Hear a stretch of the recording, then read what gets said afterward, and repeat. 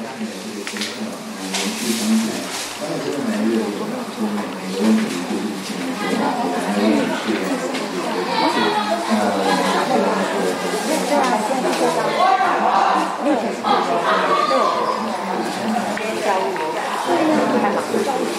对，对呀，对呀，您放心吧，这个贵玉，贵玉，你看我，对对？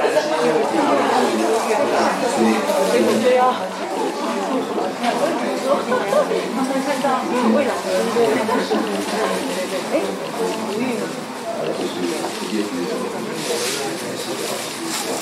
哎，是一，吧，是啊，贵。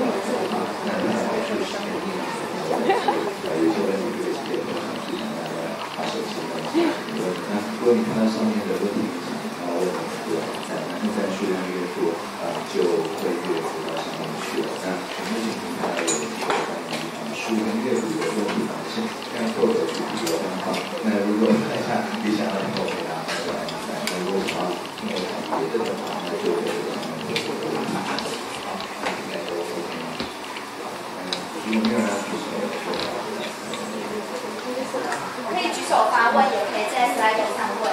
然后这种都可以。对，如果举手有优先权，如果你想要直接问，或者问一些问题的话，你可以举手发问。那如果你没有提问，你就，就，就，有没有问题提问？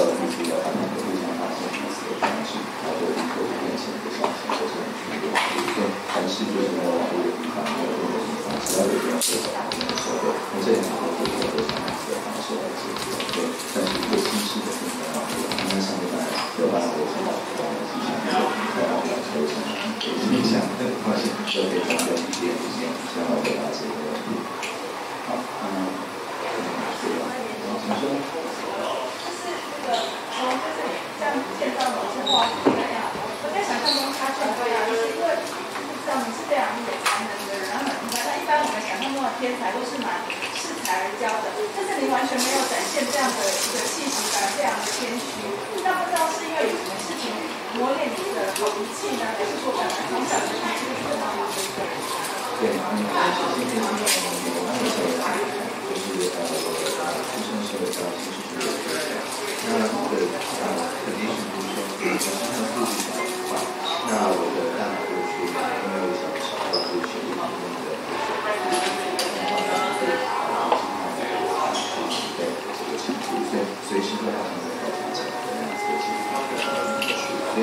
我今天入学当学分的，就是心脏的那个心脏的神奇方面的情绪，或者是心脏和核心的正面的情绪，很开心，呃做一条火的时来，我立刻就很好。然后醒来之后就已经在床上在躺，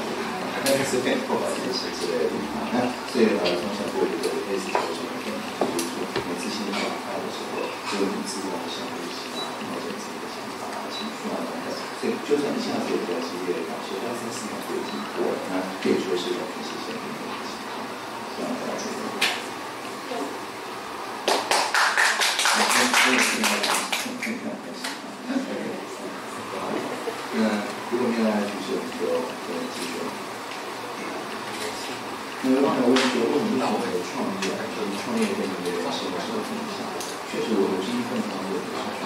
某一些或。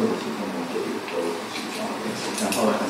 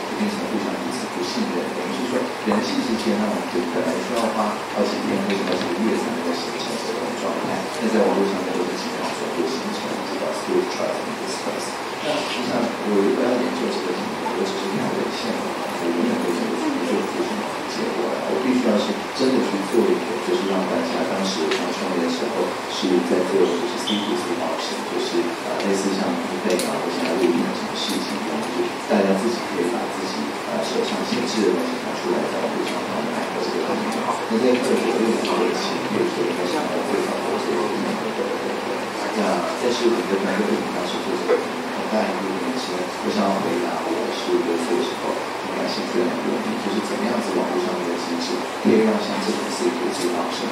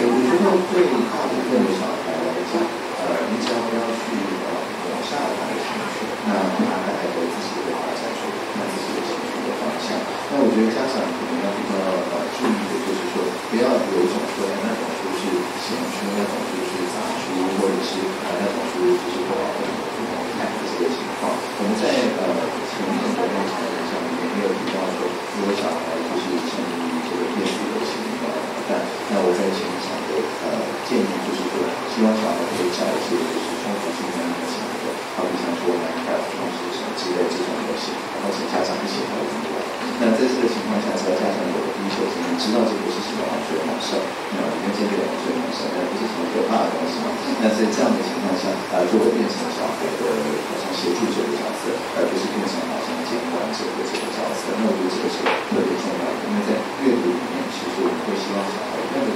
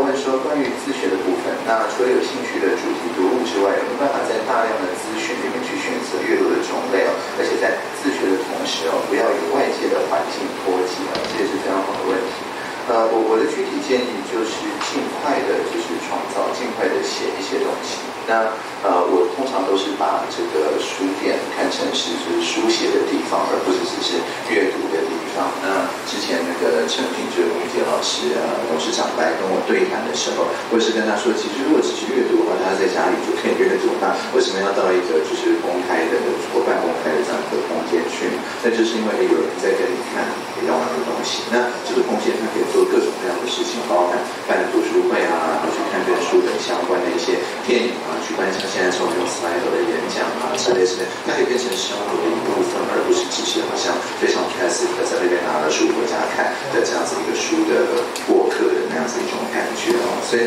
我觉得就是阅读，它是还是共同的就是它是整个社区可以一起做的一件事情。如果是实体书的话，那可以透过像图书馆，像在图书馆里面办这样子的活动来达成。那如果是电子书的话，现在也有很多电子书其实有封闭的服务，甚至你的划线都可以变成别人看到，而且留下评论讨论的这个主题嘛。而且这跟一般的那个脸书的状况不一样，就是呃，脸书就是比较容易打脸，比较难打书。但是在这种共学的这边，大概主主要都是打书不会打脸，至少大家都是看类似的书的，就是同好者这样。所以我觉得就是有这样子的同好者的社团，在阅读的过程里面不断的同时有产出，这个产出可以是最简单到划线的程度，但是或者是简单的这个读书的心得啊、日记啊等等的程度，那也把你的书写变成跟你同时读类似的书的人讨论的话题，那这样就绝对不会跟呃外界的环境脱节了。那至于要选怎么样子的种类的话，通常我都是认识某个作者，那然后呢，透过这个作者他自己喜欢看的书去认识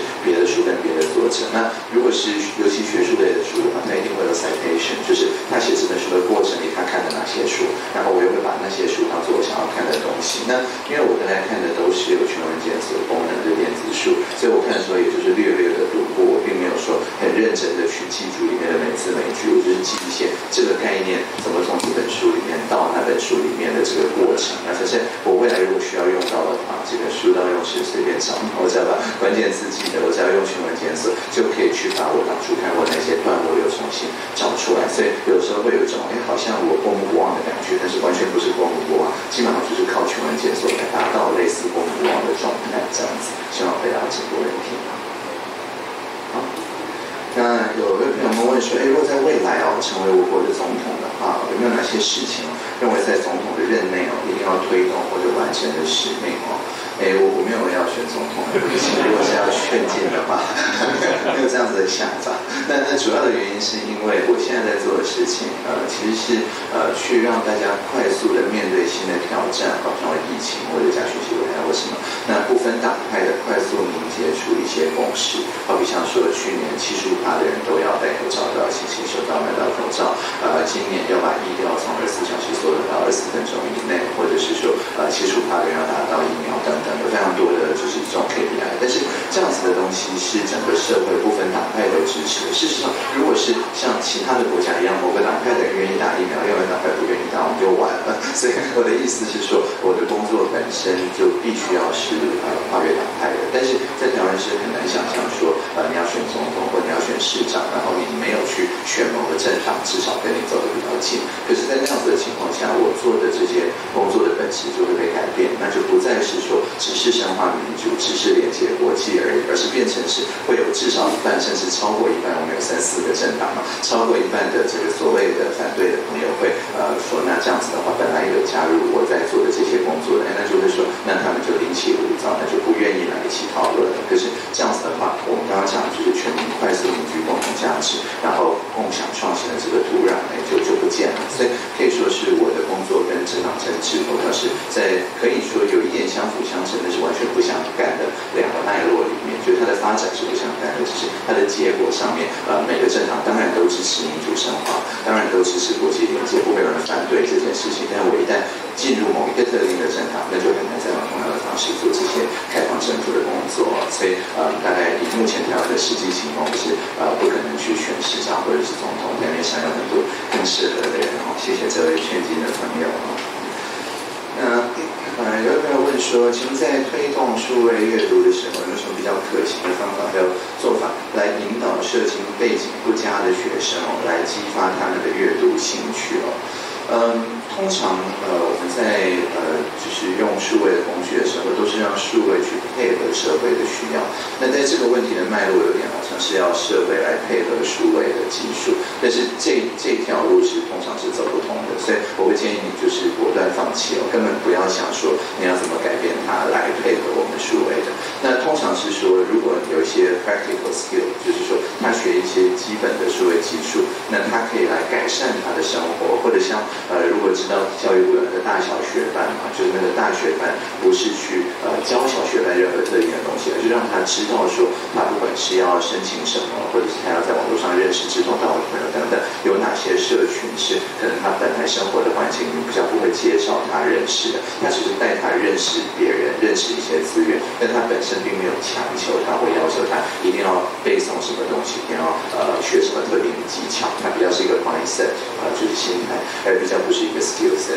就是不是一套技术方法。那那样子的话，我觉得就是这个人脉本身是最大的帮助，但除此之外，我觉得就是这个学习者他自己觉得他学什么东西对他目前的生活改善有帮助，应该是你来配合他，不是说呃你去引导他到你现在比较习惯的做法。事实上，如一个大学班大概呃要花很多时间去适应一些他没有适应过的生活状态，反而是他自己要调整自己，而不是说要这个所谓受帮助的人啊要调整他。希望回答到这个问题，因为这个是就比较抽象问题，比较抽象的回答。那如果有比较具体的问题，我会尽量比较具体的回答。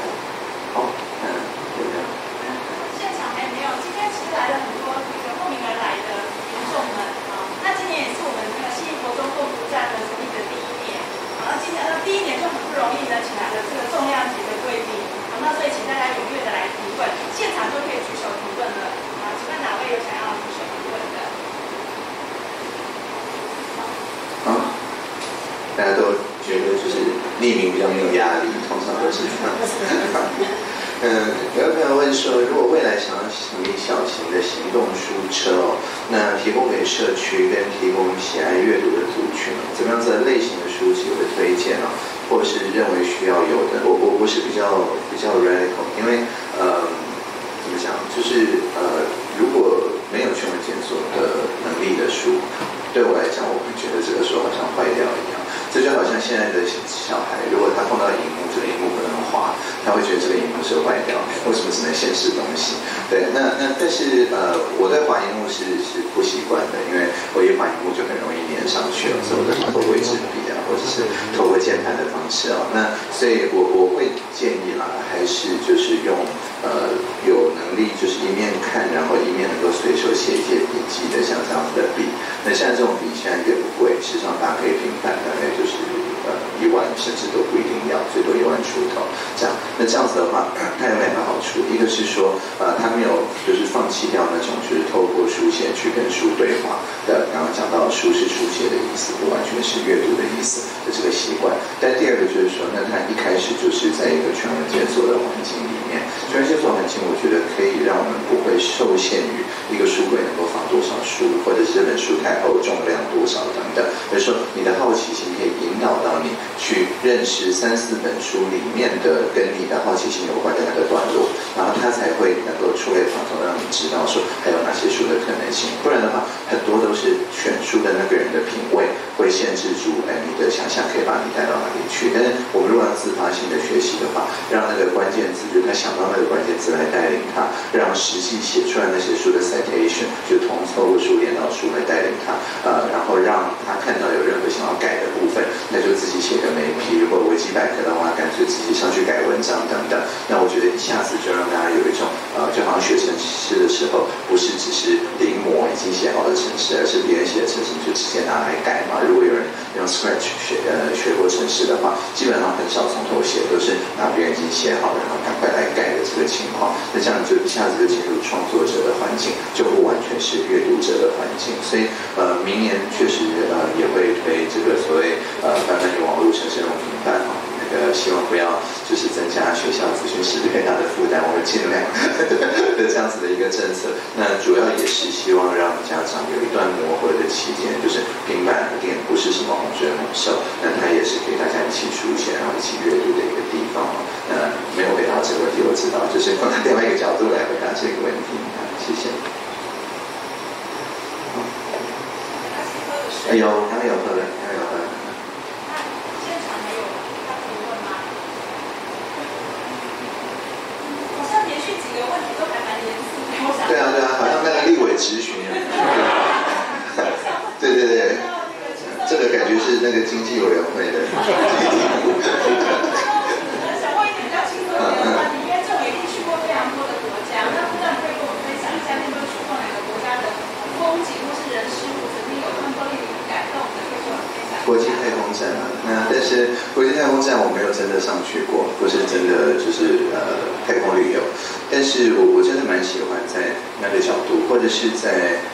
月球这个看日出，但是地球的日出，那个是非常让人感动的一个一个画面。那我在。一开始接触 VR 的时候，就虚拟实境的时候，当初下载的第一个就是 Star Chart VR，它本来是一个在手机上面看星座的这样子一个呃 App，但是它后来也出了 N 呃 VR 的版本，所以我记得是在二零一六年的总统选举的开票的前一个晚上，然后我我就是所有的朋友都在那边，因为总统选举还有那个周子瑜事件弄得不可开交的那那个晚上，那但是我就完全没有在管选战，然后我就完全在月。球上面看地球升起来，在国际太空站里面看地球，真的是非常让人感动的一个场景。那后来我就去了解到，真的有所谓的纵观效应 （overview effect）。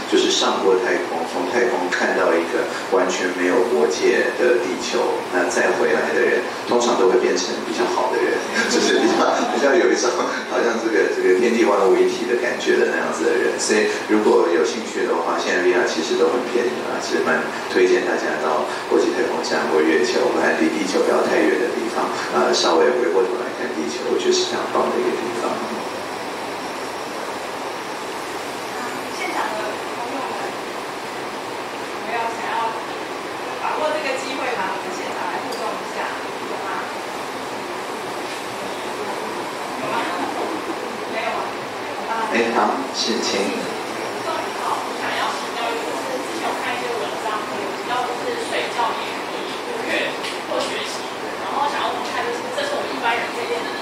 可以啊，可以啊，很很容易啊，很容易。其其实呃呃，我我所谓睡眠学习并不是什么很神秘的东西，它就是呃你在睡前看书的时候，不要打断那个作者就可以了。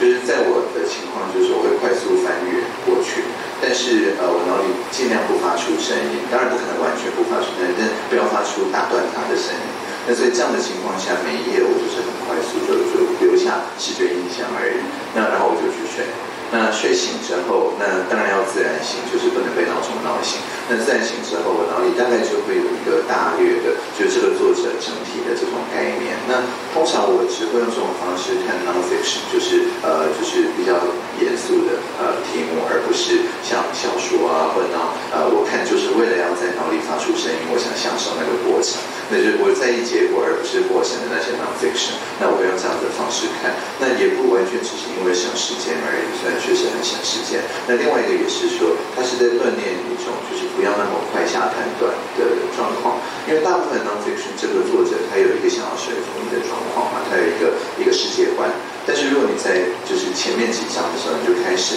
用自己本来的成见去打断他的话，那其实你不一定真的能够进入他的世界，不一定真的能够设身处地的情况。那我快睡着的时候，通常就是脑波最弱的时候，每个人都是这样子，所以我等于就是愿意被这个作者影响我的脑波，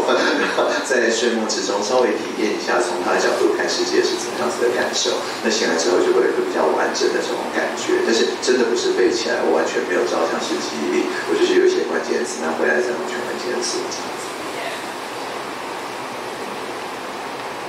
那还有现场的朋友有要干嘛？赚钱吗？是钱。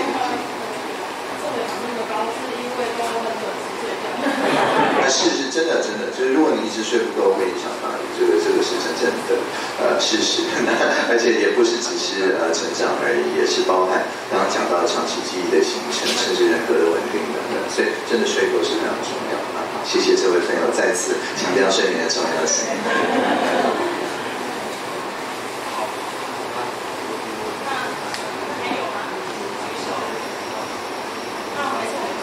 好的，好，谢谢这位委员哦的指教。那个这位朋友，哎哎，刚刚是有一个有举手，是不是？这方面可以请请教的问题，就是说，呃，您对？现在我们科技的趋势，互联网啊、元宇宙跟 NFT 啊，这些就是说我未来的趋势跟这些的关联，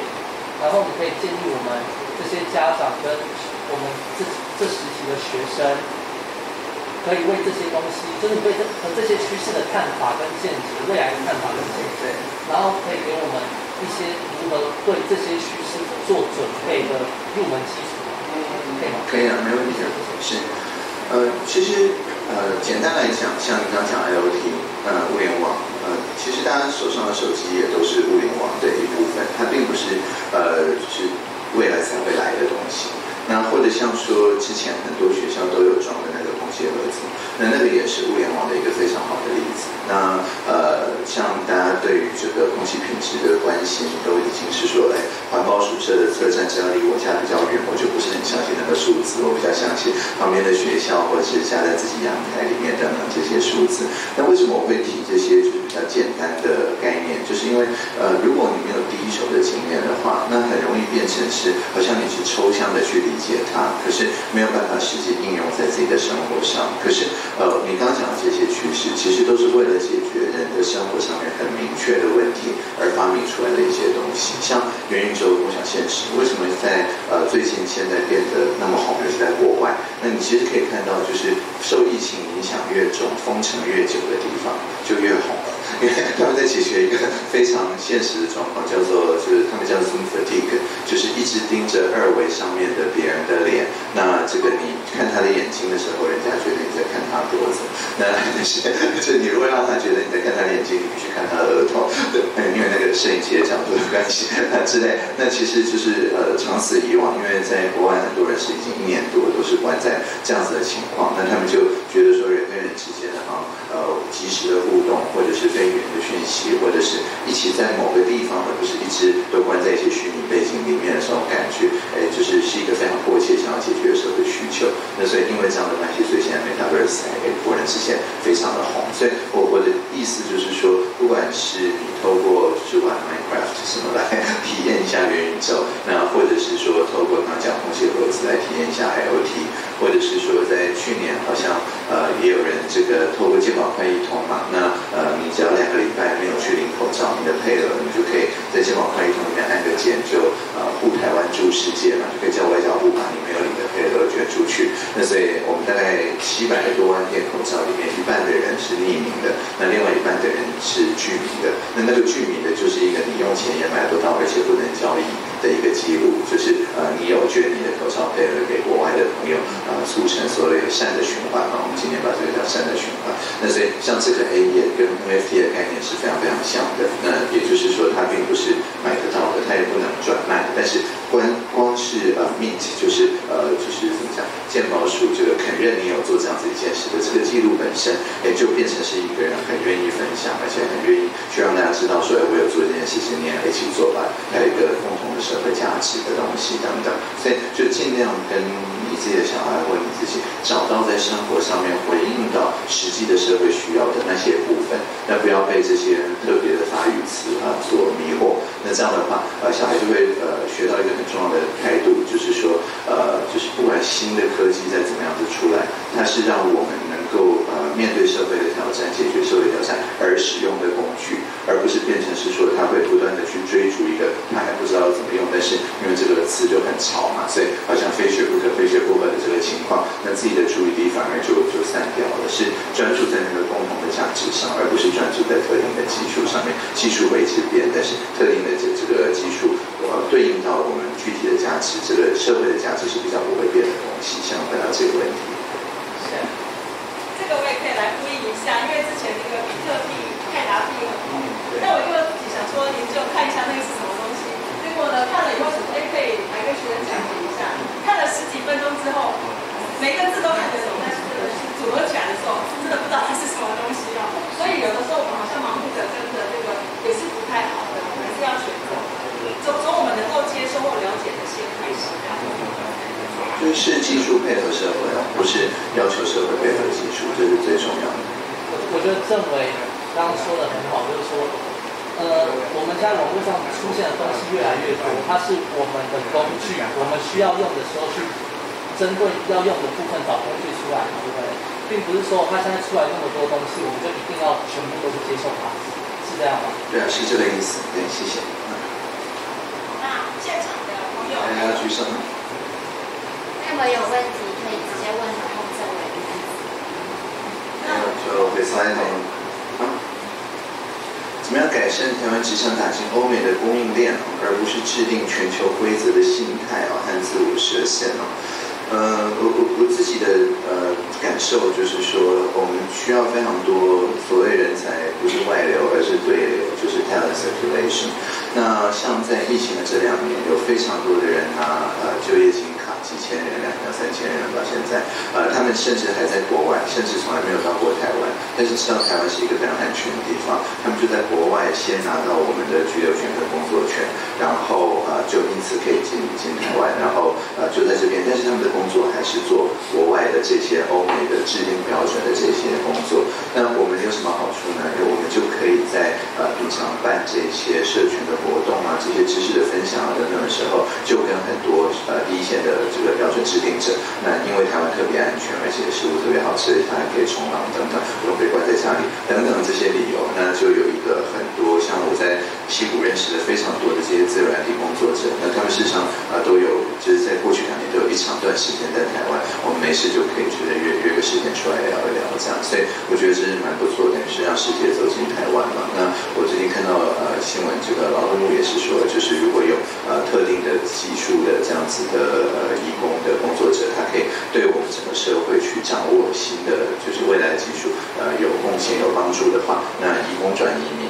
民也是一条路来做。那我觉得这些都是等于我们就不会在以前那样子一种好像就是说人家来就一定是抢我们工作，而是说他来这边去创造新的工作，等于我们对自己的工作环境变成比较自信的这个情况。那这个就是整体劳动资市场的资讯，真的是这两年在台湾整个起来的一个一个趋势哦。所以我觉得这个是第一件蛮好的事情，就是呃人才对流这个多元性。那另外一个就是说，因为现在很多，有其在我的相关的领域，呃，不管是设计啊，或者是呃写程式啊、计算机科学等等这些的领域里面，大部分都已经没有什么时区的差别了。只要你愿意稍微调整一下什么时候上床睡觉，当然还是会睡够，你就可以去呃任何一家公司工作。那在这个情况下，我们也看到说，在台湾就很多人他不用离开台湾，那他就可以很斜杠，觉得他在台湾这边有一份工作，或他自己创业。但另外一方面，他是担任就是其他国外公司的工作，线上远端的方式。同样在疫情前是很困难的，但是在疫情后这个变成了常态。那呃，而且让员工就是跟呃公司怎么讲谈判的这个能力也变得很强。因为在以前，如果你的聚落就只有这么几家公司，你就只能在这里面去选。但现在因为是全世界都是呃你可以选的东西，所以就可以回来要求呃你的这边的这个老板说，那你必须要，好比如说像我在跟行政院谈判的时候，我就二零一六年就说，我这个礼拜一、礼拜四进行政院哦，其他时间是不会进行政院哦。我在哪里上班都算上班哦，这个你不要接受随便哦，对不对？所以在这个情况下，诶，在我当时可能就是能够这样子讲的人不多，但是在现在，因为斜杠，因为在线上去找到他的竞争对手，然后你去帮他工作，变得很容易。所以现在不管是斜杠的兼职，或者是呃就是跳槽，都变得非常容易的一件事情。那在这个情况下，也会进一步来鼓励，就是我们这边的呃就是公司或者其他他的呃就是事业或组织，必须要也有这样子的平台的样子。去接受自己的员工，可能一个礼拜有几天，他就真的没有来办公室，或者是说他的价值反而是他有能力说一个礼拜三四天做这个组织的事情，但是没有一两天做别的组织的事情，这两个是有 synergy，是有一些综合效果的。那同样的，这个也是从呃所谓的代工或大型供应链变成是一个有制定标准的跨部门协同合作的这样子呃的能力。那这个能力也是来自于这个员工本身对自己的角色，从产业的某一个螺丝钉变成是说它是好像一个榫头嘛，把一个领域跟另外一个领域接在一起的榫头。所以这种跨部门、跨领域的这种人才的培养，我觉得就是 telework 啊，线上工作、远程工作，在这两年的趋势，也是让这样子的人才养成变得比较容易，而且这样子的人才也越越能够主张出来，他就是用这样的方式来工作。所以我自己是蛮蛮有信心的嘛。我觉得呃，新一代的这种比较年轻的这些朋友，可能一开始就已经呃不再受到地理环境的限制，本来就是呃全世界的朋友，只要那个品质不要太高，啊，都是可以一起组队打怪的这个伙伴。希望回答这个问题。那我们就继续嘛。好，那有朋友问说，一本书要如何读哦，才是最有效率的读法？呃，就嗯，就不要读，对，不要读才有效率。呃，就是像像我讲的，就是我常常我会看到一本书，是因为我用搜寻引擎找某个关键字，然后我就透过全文检索，我没有看那本书，我是直接跳到有那个关键字的特定的段落，然后再去看它的上下文跟它引用的书，所以等于是书对我来讲好像拆成一个一个网页的那种感觉。那书里面提出了新的概念或 citation 或 reference，啊，感觉上就是一些呃超连接的这种感觉，所以就是把所有存在的用全文检索找到的书看成一个非常大的类似维基百个的这样子超链接的状态存在。那这样的话真的是最有效率，因为跟你兴趣的那个东西无关的部分就可以完全当它不存在，而不是说你要看到这个第十几章，然后才发现你有感兴趣的那个段落。但是呃，我再次强调，这个只呃适用在 non-fiction，所以我如果是看小说，或者是看绘本，或者是看诗集啊什么，但我本来就是在呃享受那个就是慢慢慢慢读的那个过程啊，那个我就不会用这种超连接的方式来读。但是对于 non-fiction 来讲，确实就是透过关键字检索直接跳到相关的段落，而不是去读那本书。对我来讲是最有效率的读书方法。希望回答这个问题。好，那有位朋友问说，如果有一本书可以代表我的中心思想哦，可不可以介绍那本书？可以啊，叫《蒙点》，对？那这是我我跟几个朋友做的网站，然后在这个底下有写这个。作者唐凤在法律许可范围内抛弃此著作因著作权法所享有之权利，包括所有相关连接法律权利，并宣告将该著作贡献到公众领域用。那这个是呃我第一次就是呃在一个比较多人使用，我们也真的蛮多人用的的一个 project 里面呃写这样子一句话。那在我自从写了这句话公开出来之后，我我是真的有种海阔天空的感觉，因为真的因为这些里面的这些素材也不是我写的，也不是我发明的嘛。它是呃重编过一次典、修订本啊，这个泰语常用词典、客语常用词典啊，以及一些其他的呃就是语言的词典嘛，所以这本来就是呃整个呃文明许多的文明的这些捷径，本来就不能说是主张是我的，那我的贡献只是说把它用一种比较容易对照、比较容易去呃互相翻译、比较容易。互相切磋，或者是学一些笔顺啊等等的这些方式啊，来把它编排起来。那所以本来我就很难主张所谓的原创性。那但是呃，当我这样子写了之后，我就发现说，在别的其他我本来可以主张原创性的地方，其实我也可以不主张原创性。意思就是说，任何人拿我的脸去做 deepfake，或者拿我的名字去当什么动词用，或者是呃拿我的访问的这个录影啊去做什么饶舌歌曲哦，那个日本的 d o s m o n o s 呃。之类，那那我就带着欣赏的态度就可以了。所以呃，就是在蒙眼的这个中心思想形成之后，那后来你就发现说，出现了各种各样子啊，拿我的呃不管长的样子，或者是我写的东西，或者是我的对谈，就拿去恶搞的这些作品。那然后我也都是保持着非常欣赏的态度，那就呃更进一步的就是助长他们的气焰啊。那我记得像当时那个特委会的小编嘛，对不对？就拿我的一个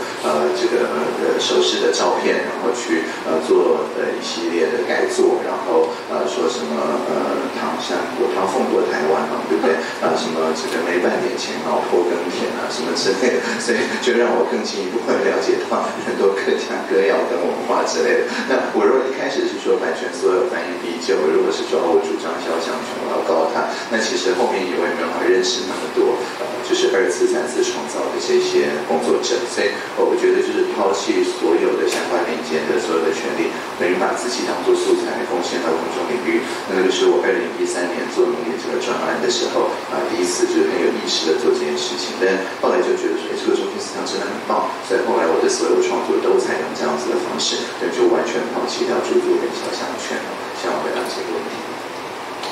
好，那有没有人要举手？没有的话，我们就再往下。那呃，有位朋友问说，请问对于未来的世界的想象是怎么样？那其实不用想象嘛，其实我们现在就已经活在未来的世界。刚才上一场演讲，我有讲说，呃，未来是总是已经来了，它只是还没有很均匀的扩散。那像我们现在就是在呃现在这个情况，我们还可以在就是同一个房间里面，而不是透过什么元宇宙或者 VR 眼镜，然后可以及时的这样子互动。那在呃绝大部分世界上的其他地方，我们就是未来 就是在他们这个呃很希望就是等打完疫苗可以赶快到的那个未来，那对于我们先早一步到了而已嘛。那所以我的意思是说，我我不会觉得说去想非常非常远的未来，我会去想说。那我们在台湾到了这样子一个呃近未来的这个状态，我们是怎么过来的？怎么怎么样子去呃确保说我们在下一波疫情来的时候，因为也不知道现在南港的状况怎么样，我还没有时间看那个记者会，但是呃至少是我们已经有一系列的方法，有那个 resilience 回弹回复的这个能力，大家都不会很慌张，会觉得说，那我们就是透过之前已经很成功的一些方法，最多做一些细节上面的调整。那我们就可以把这波疫情处理掉。那我的想法就是说，那我们把这些呃大家呃的 social contract，就是在社会上大家彼此互相约定说，那我们就是怎么样子做事情，这些事情就可以处理好的这些东西，我把它写下来，把它记录下来，把它做成简报，把它拿去民主峰会分享什么之类的，那就可以进一步的加速世界上面的其他地方也往我们觉得是值得前往的那个方向的未来呃一起迈进啊。所以我都觉得说。而不是我从现在这个点上面去看更后面的未来，而是去看现在这个部分里面已经有哪一些值得跟世界其他还在过去的模式呃的地方分享的，我们自己看到的未来，希望回答这个问题。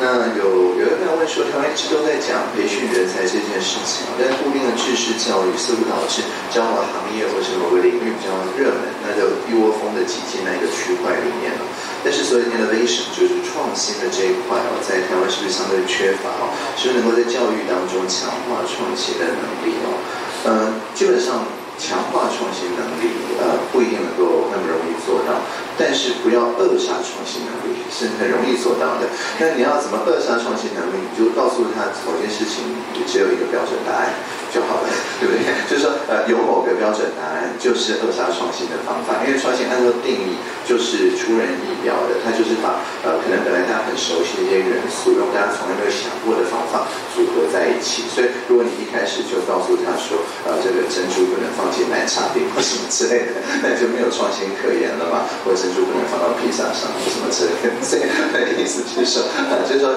某一种特定的标准答案，如果有的话，如果写下来，如果呃要求大家。非得接受不可的话，那至少在那个题目上，这个人未来要在这个题目上面创新就非常困难，因为他要先摆脱脑力的那个标准答案。但是如果我们在学校，特别是呃，就是做 capstone project，就是呃，我们是以造成社会怎么样子的好处的，对社会好处的影响。这个影响力来当做你有没有掌握这门学问，而不是说呃，这个你怎么样回答了以前曾经解过这个题目的人，他们怎么解决的，你就呃照样的背起来，来当做你有掌掌握这门学问。这个就是我们本来从呃，就是去掌握特定的标准的答案的考试的成绩，切换到所谓的素养，就是所谓的核心能力嘛。你有没有办法掌握这个来解决当下的问题，而不是背诵以前人怎么解决以前的问题？那越多的呃，就是实作。呃，变成教学的一部分，那我觉得我们就越少呃困在标准答案里面，因为你一旦进入实作的现场，大概标准答案全部都计划赶不上变化了。那在这个情况下，那自然这个创新的素养，那就不会被扼杀。那这个保证说大家每个人都很创新，但至少就是等到未来真的轮到他，他真的碰到一个社会上的挑战，他非得创新的时候，他不会在脑里有一个呃老师或者校长或训导主任的声音告诉他说这一题只能这样子解决。那我觉得我们做教育工作可能就是呃比较比较谦卑一点，就是不要觉得说好我们手上一定有标准答案，到这一步就可以了。我觉得不一定能够由上而下的去灌输创新的能力吧。希望回答这个问题。好，那呃，在这个知识爆炸的时代啊，会不会建议学习速度啊，让我们可以阅读更大量的书籍哦？我我是没有学过速读。但是我在脑里只要不打断作者，我就可以看得非常快。但是就像刚刚讲到的，我只是在脑里给自己下关键词广告，就是关键词的那个暗示的那个网络，那但是是实际碰到一个呃状况的时候，我在脑里才会就是呃触发我以前看过的所有相关的关键词，是在那个时候我再展开。回去阅读，所以可以说是那个阅读是到我输入这个关键字回来去全文检索我以前稍微扫描过的东西的那一刻，才真正意义上是阅读。在此之前都比较好像是探索的，像是 mapping out 的这样子一种概念。所以我会觉得说，呃，这种我的两阶段阅读的这种方式，它不能说是一种速度，但它确实是让我不会有一种像知识爆炸，让我很害怕的这种感觉。因为凡是就是最新冒出来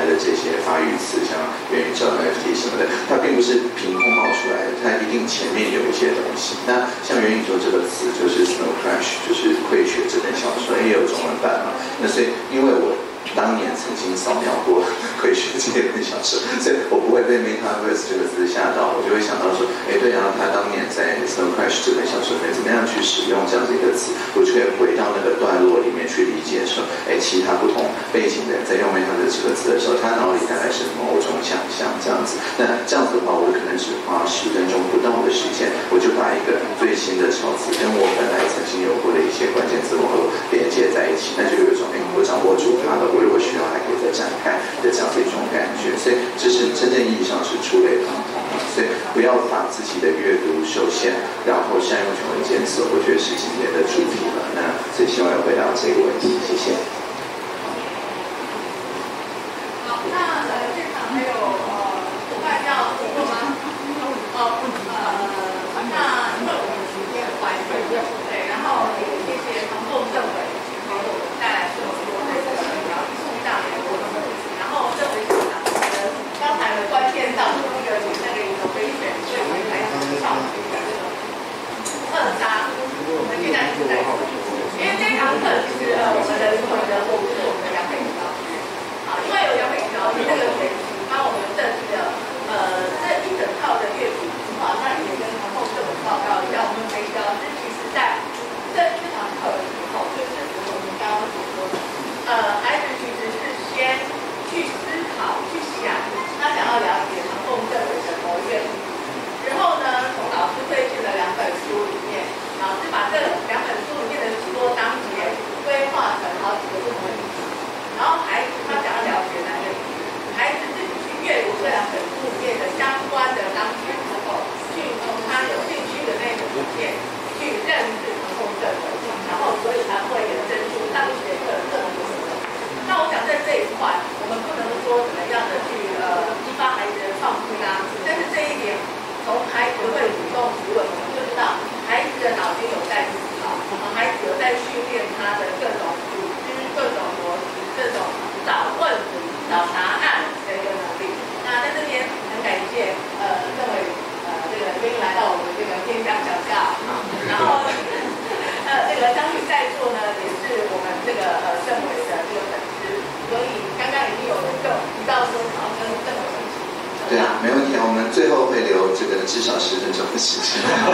那要合照、要签名，什么都很欢迎。那我就最后快速回答这个。呃，确实，呃，如果这个我们学台语的时候只是学口语，那在写下的时候都是用呃，就是发音类似的字，像什么母汤什么的，对吧？那虽然是很有迷音的效果，但实际上就是跟那个字本身的脉络是会脱节。所以如果呃对这方面是呃有想要就是。呃，正规化台语、正规化台文有兴趣的话，可以加入这个爱代理，它是距离比利时政府的呃蒙点这个专案延伸出来的一个专案。那它就是有一个正规化团队哦，会不断的在这边去帮大家去正规化很多很多的词。所以光光是就是呃，你有一个新的词，你想要找出怎么样子讲，那你可以呃，甚至只是录录个音把它讲出来，或者是用刚刚讲的那种比较母汤的方法把它拼出来。那我们都会有就是正规化。团队来帮你去翻译，那甚至有一些真正意义上的新的词，像什么宝可梦、妙蛙种子，或者是刚刚讲到的这个什么比特币区块链、云端运算、加密货币什么，那这边也有这个真的很多的这种团队在那边去帮助大家去呃找到在现代的这个台语的语境里面啊，怎么样去翻译这些区块链、比特币、开放资料等等的这些字。那如果因为今天因为时间的关系，而且不是台语课，所以我就不在这边。展开了，那有空的话都很欢迎到这个爱台语的网站。上面去了解。那今天就讲到这边了，谢谢大家。